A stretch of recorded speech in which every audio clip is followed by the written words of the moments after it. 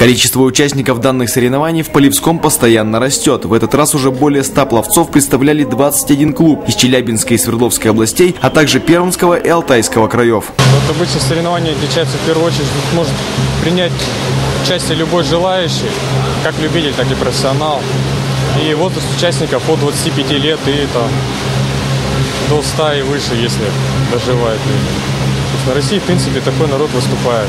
Есть и мастера спорта. Это любители плавания, те, кто постоянно занимаются, те, кто вот плавание любят с детских лет и до э, преклонного возраста, потому что у нас есть спортсмены и 70 лет.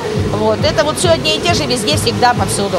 Самый многочисленный состав, как и в прошлом году, был представлен хозяевами чемпионата спортсменами Северского трубного завода, которых насчиталось 20 человек. В большинстве заплывов борьба шла упорная и напряженная, поскольку уровень пловцов достаточно высокий тренировки. У каждого спортсмена была своя мотивация и свои задачи. Кто-то приехал встретиться со старыми друзьями, кто-то посмотреть, не растерял ли форму, а некоторые дабы поставить личный рекорд и зафиксировать его. Высокий для своей возрастной группы, наверное, можно ждать, потому как люди продолжают тренироваться. Хотя бы они растут для себя.